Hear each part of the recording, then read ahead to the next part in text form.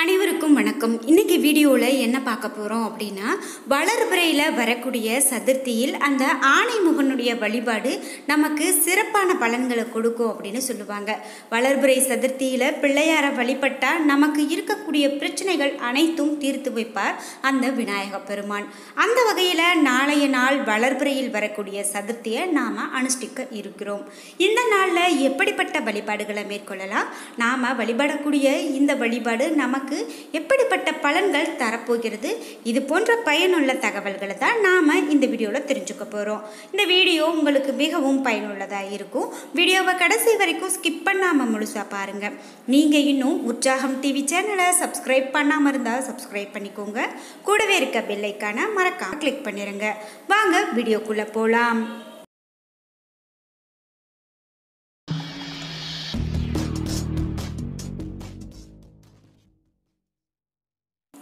இப்படி விநாயக பெருமானுக்காக நாம் வழிபடக்கூடிய நாட்களில் இந்த சதுர்த்தி நாளும் ஒரு முக்கியமான தினம் அப்படின்னு சொல்லலாம். இந்த நாளில் விரதம் இருந்து வழிபாடுகளை மேற்கொள்ளலாம்.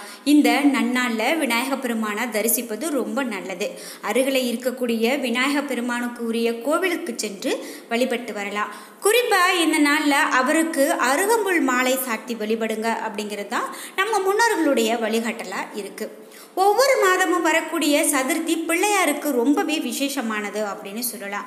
இதில் எல்லா மாதத்திலும் வரக்கூடிய சதுர்த்தியும் விசேஷம்தான். குறிப்பிட்டு ஆவணி மாதம் மற்றும் சித்திரை மாதங்களில் வரக்கூடிய சதுர்த்தி விநாயகருக்கு ரொம்ப ரொம்ப உகந்ததாக சொல்லப்படுது. குறிப்பாக ஆவணி மாதத்தில் வரக்கூடிய சதுர்த்தியை தான் நாம் விநாயகர் சதுர்த்தியாக கோலாகலமாக கொண்டாடுறோம். அதே போல் மாதாந்தோறும் வரக்கூடிய சதுர்த்தி தினமும் பிள்ளையாருக்கு உகந்த நாட்கள் தான் திருவாதிரை அப்படிங்கிறது சிவபெருமானுக்கு உகந்த நாளாக வழிபடப்பட்டு வருது. திருவோண நட்சத்திர நாள் என்பது பெருமாளுக்கு உரிய நாளாக அனுஷ்டிக்கப்படுது. பூரம் ஆண்டாளுக்கு உரிய நாளாக விசேஷமாக பூஜிக்கப்படுது. கார்த்திகை நட்சத்திர நாளில் முருகப்பெருமான விரதம் இருந்து வழிபடுறவங்க பக்தர்களும் இருக்காங்க. சஷ்டி திதியானதும் கந்தனுக்கு உரிய நாளாக இருக்கு. மூல நட்சத்திர நாள் அனுமனுக்கு உகந்த நாளாக இருக்கு. வழிபாட்டுக்கு உரிய நாட்கள் அப்படின்னு இவையெல்லாம் சிறப்பான நாட்களாக சொல்லப்படும் போது விநாயகருக்கு உகந்த நாளாக இந்த சதுர்த்தி திதி இருக்கிறது அப்படின்னு சொல்லலாம். இந்த நாளில் விரதம் இருந்து பிள்ளையாரை வணங்கி வழிபடலாம். பிள்ளையாருக்கு உகந்த அருகம்புல் மாலையோ அல்லது வெள்ளருக்கு மாலையோ சாத்தி அவரை வழிபடுவது மிகுந்த பலனை கொடுக்கும் அப்படின்னு சொல்லப்படுது. அதாவது ஒவ்வொரு விஷயத்திற்கும் ஒவ்வொரு மிகப்பெரிய காரணங்கள் சொல்லப்படுது. அருகம்புல் மாலை சாற்றுவதற்கும் வெள்ளருக்கு மாலை சாற்றுவதற்கும் மிகப்பெரிய காரணங்கள் சொல்லப்படுது. குறிப்பிட்டு இந்த சதுர்த்தி விரதம் அப்படிங்கிறது புதன்கிழமை மற்றும் வெள்ளிக்கிழமை நாட்களில் வருவது இன்னும் நல்லது. அப்படி நாம் புதன்கிழமை நாளில் அனுஷ்டிக்க இருக்கிறோம். இந்த நாளில் நாம் பிள்ளையாருக்கு நைவேத்தியங்கள் படைத்து வழிபடுவது இன்னும் நல்லது.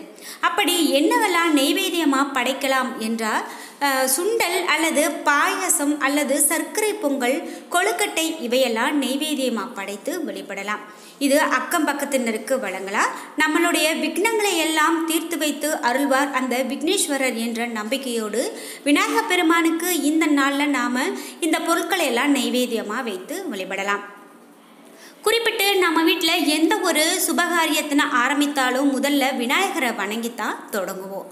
எல்லா தெய்வங்களையும் பூஜை செய்து பலன் பெற முதல்ல கணபதியைத்தான் வழிபடுவது வழக்கம். எல்லா யாகங்களிலும் முதல்ல விநாயகருக்கு தான் முதல் மரியாதை கொடுக்கப்படுது. விநாயகருக்கு உகந்த பூவாக எருக்கன் பூ பார்த்தோம். எருக்கஞ்செடியில் பல வகைகள் இருக்குது அதாவது எருக்கம்பூச்செடிகள் அனைத்தின் பாகங்களும் ஏதேனும் ஒரு மருத்துவ பயன்பாடு நிச்சயமாக இருக்கும் அப்படின்னு சொல்லப்படுது. மருத்துவ பயன்கள் மட்டும் இல்லாமல் இறை வழிபாட்டிற்கு சிறந்த மலராக எருக்கன் பூ திகழ்கிறது அப்படின்னு சொல்லலாம். அந்த வகையில் தெய்வீக மூலிகை என்ற பெருமையை கொண்டதும் இந்த எருக்கம்பூ அப்படின்னு சொல்லலாம். அதாவது இந்த எருக்கம்பூவில் ஒன்பது வகைகள் இருக்கிறதா. அதில் நம்மளுடைய கண்ணில் அதிகமாக படுவது கத்திரிப்பூ நிற எருக்கஞ்செடி தான் அதற்கு அடுத்து பிரபலமான வெள்ளருக்கு எனப்படக்கூடியது வெள்ளை நிற பூக்கள் கொண்டு இருக்கக்கூடிய இந்த எருக்கஞ்செடி இவை ரெண்டுமே அதிகமாக பயன்படுத்தப்படும். விநாயகருடைய வழிபாட்டில் இந்த இரண்டு எருக்கம் பூவுமே அதிகமாக பயன்படுத்தப்படுது.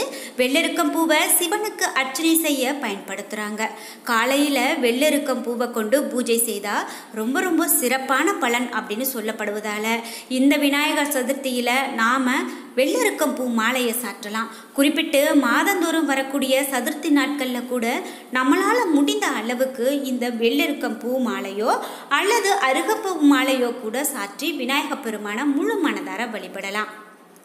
அர்க்க புஷ்பம் அப்படின்னு சமஸ்கிருதத்தில் அழைக்கப்படக்கூடியது தான் இந்த வெள்ளெருக்கம் பூ. விநாயகரை அர்ச்சிக்க உகந்த மலராக முதலில் சொல்லப்படுவதே இந்த எருக்கம் பூ தான் சூரியனுக்கு அர்க்கன் அப்படின்னு பெயர் சொல்லுவாங்க. சூரியனுக்கு உகந்த எருக்கம் பூவை விநாயகருக்கு அணிவித்து வணங்கும் போது விக்னங்கள் நீங்குவதோடு சூரிய பகவானுடைய அருளும் ஆதாயமும் நமக்கு கிடைக்கும் அப்படிங்கிறது ரொம்பவே நம்பிக்கையாக இருக்குது இது மட்டும் இல்லாமல் ஆரோக்கியம் சிறப்பாக மேம்படும் அப்படின்னு சொல்கிறாங்க அனைவரும் எளிதாக வழங்க வணங்கக்கூடிய ஒரு விநாயக பெருமானுக்கு இந்த சாதாரணமாக பூத்து குலுங்கக்கூடிய எருக்கம்பூ மலரில் நாம் கொண்டு வழிபட்டோம் அப்படின்னா அவருடைய அருளையும் அவருடைய ஆசையையும் பெற முடியும் என்பது நம்பிக்கையாக இருந்து வருது.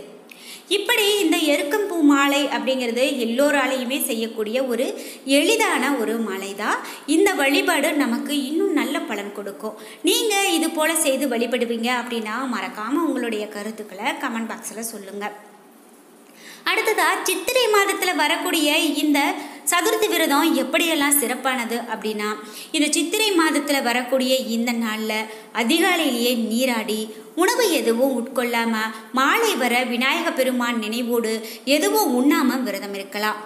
பால் பழம் மட்டும் சாப்பிட்டு விரதம் இருக்கலாம்.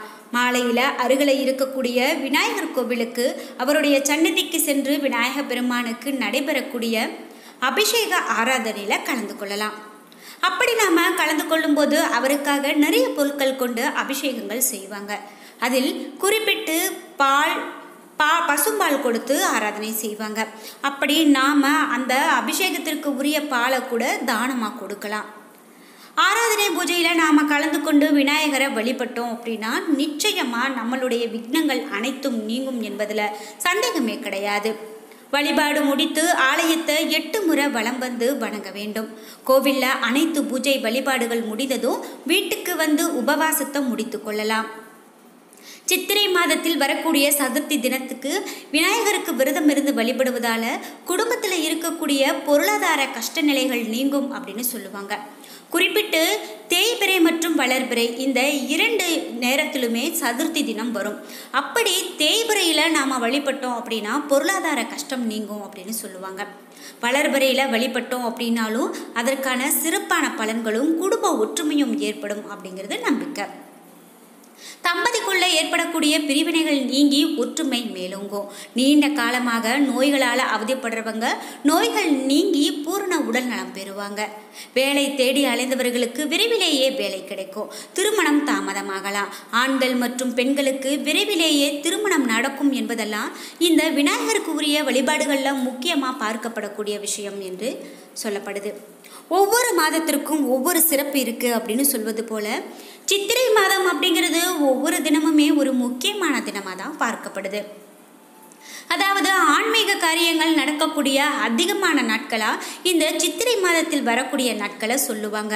இந்த மாதத்தில் செய்யக்கூடிய விஷயங்கள் அனைத்தும் செழிப்பாகும் அப்படிங்கிறதால இந்த நாளில் வரக்கூடிய ஒவ்வொன்றுமே சிறப்பு தான் அதில் குறிப்பிட்டு இந்த விநாயகருக்காக வரக்கூடிய சதுர்த்தி விரதம் அப்படிங்கிறது யாரெல்லாம் மனக்கவலையில் இருக்காங்களோ அவர்கள் எல்லாம் இந்த சதுர்த்தி விரதத்தை மேற்கொண்டாங்க அப்படின்னா நிச்சயமாக அந்த விநாயகரால் நமக்கு முழுமையான பலன்களை பெற முடியும் அப்படின்னு சொல்லுவாங்க. சொல்லலாம் குறிப்பாக காலை மாலை என இரண்டு வேளைகள்லையும் தீபம் ஏற்றி வைத்து வழிபடுவது சாதாரணமாக எல்லா வீட்லேயும் தினமும் செய்யக்கூடிய ஒரு விஷயந்தான் அதிலும் இது போன்ற நாட்களில் அந்த கடவுளுக்காக நாம் வணங்கி கொண்டு அவருக்கான நெய்வேதியங்களை படைத்து தீப தூப ஆராதனைகள் காண்பித்து அவருக்கான தீபத்தை ஏற்றி வைத்து வழிபட்டோம் அப்படின்னா நிச்சயமாக நம்மளுடைய மனக்கவலைகள் நீங்கும் என்பதில் சந்தேகம் கிடையாது.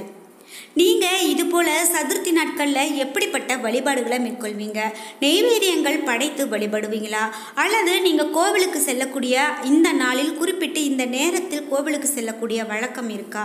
இது போன்ற தகவல்களை மறக்காமல் கமெண்ட் பாக்ஸில் சொல்லுங்கள் என்ன நண்பர்களே இன்னைக்கு வீடியோவில் சித்திரை மாதத்தில் வரக்கூடிய சதுர்த்தி விரதத்தை பற்றிய ரொம்பவே சிறப்பான தகவலை தெரிஞ்சுக்கிட்டோம்.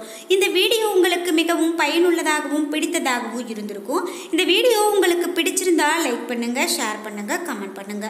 நீங்க இன்னும் உற்சாகம் டிவி சேனலை சப்ஸ்கிரைப் பண்ணாமல் இருந்தால் சப்ஸ்கிரைப் பண்ணிக்கோங்க. கூடவே இருக்க பெல்லைக்கான மறக்காம கிளிக் பண்ணிருங்க. நன்றி வியூவர்ஸ்